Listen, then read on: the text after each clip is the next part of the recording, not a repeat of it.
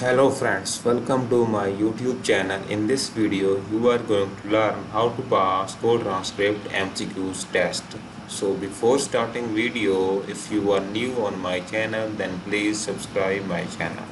So first of all, before starting test, make sure you must read all these Go transcript transcription guideline rules. These guideline rules is very important. You must read all these guidelines all the way to the end one to two times.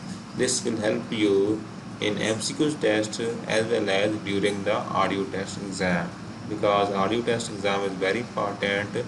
Uh, you need to apply all these transcription guidelines into the audio test. So after reading these uh, guidelines, you easily pass go transcript test. So let's start MCQ test first. To apply for transcriber position, you must complete quiz 100% correct using our guideline. Each question can have one or more correct answer. So, first question is first question is grammatical question and question is dash good friends. There are three different options and correct option of first question is A they are and C they are so these two are both correct option of first question good friends so second question is if if a speaker spell the word how will it look in the transcription? There is four different option.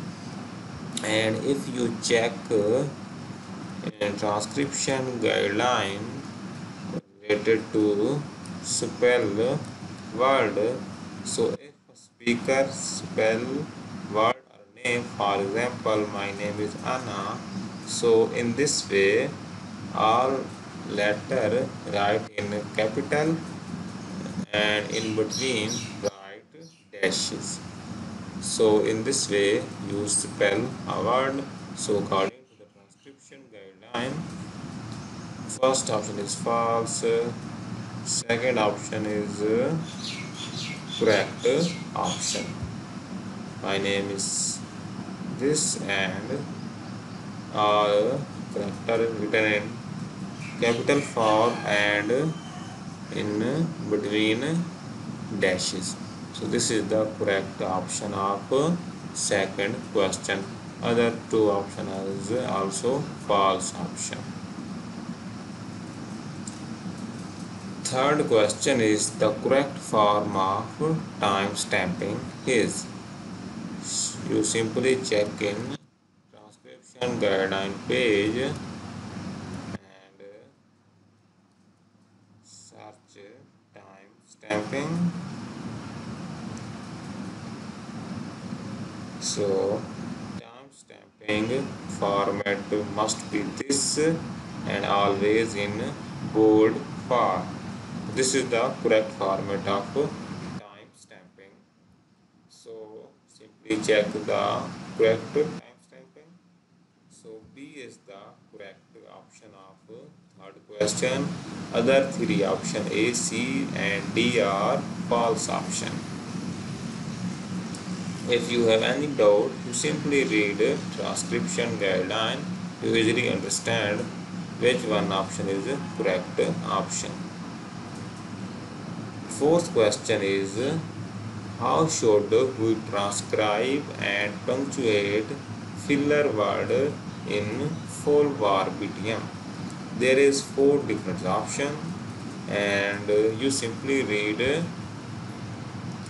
transcription guideline related to the clean verbatim and full verbatim and you easily understand how we write filler word in full verbatim and in clean verbatim.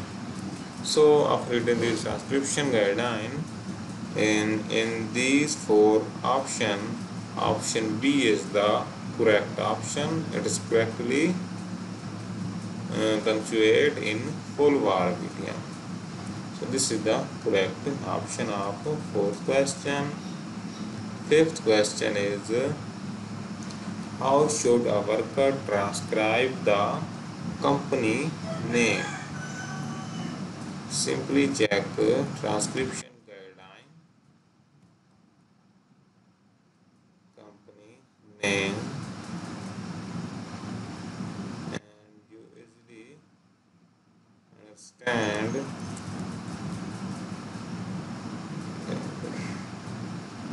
you easily understand which option is the correct option.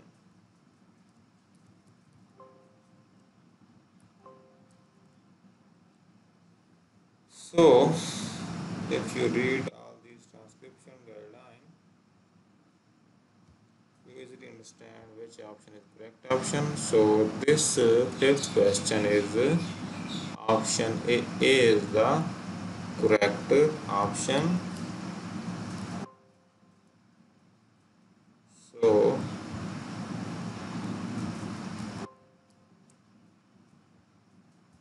so this is the correct option according to the research on Google, LinkedIn, YouTube, etc.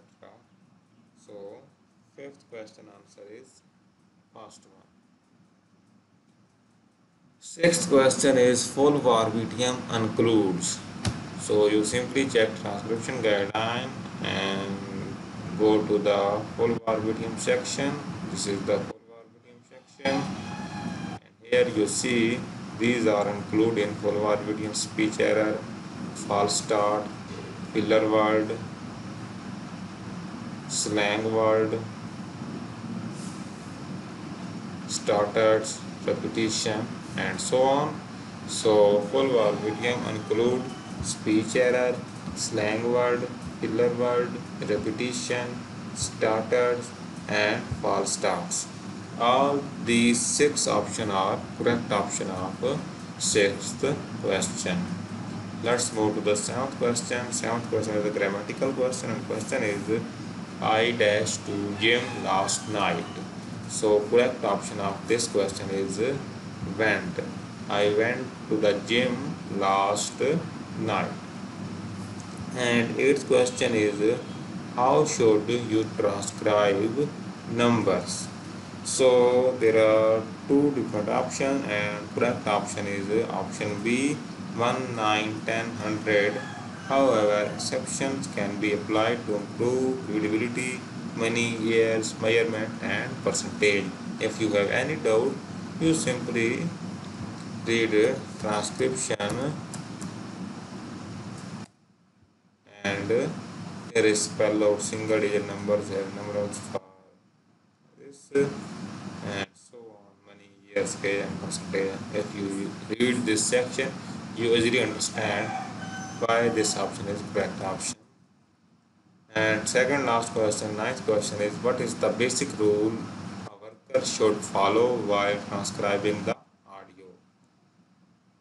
So there is uh, three different options and first option is when quoting the first word of a complete sentence should be capitalized yes this is the correct option.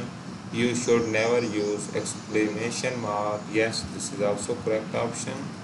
And third is the beginning of every sentence should be capitalized. Yes this is also correct option.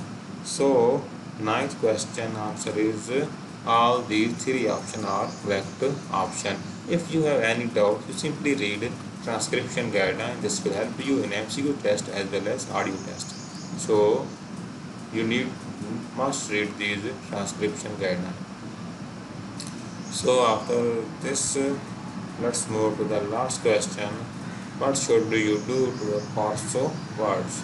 Simply read the transcription guideline and here is the if there is a parse word in the audio transcribe them word for word. So, 10th question answer is transcribe it word for word.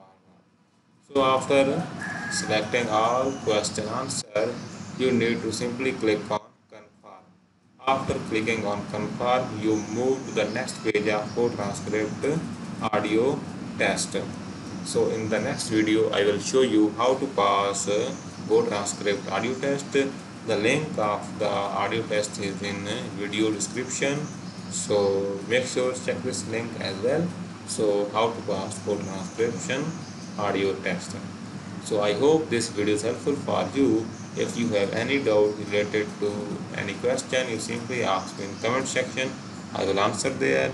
So like this video. Don't forget to subscribe my youtube channel. Thank you very much. See you soon in the next video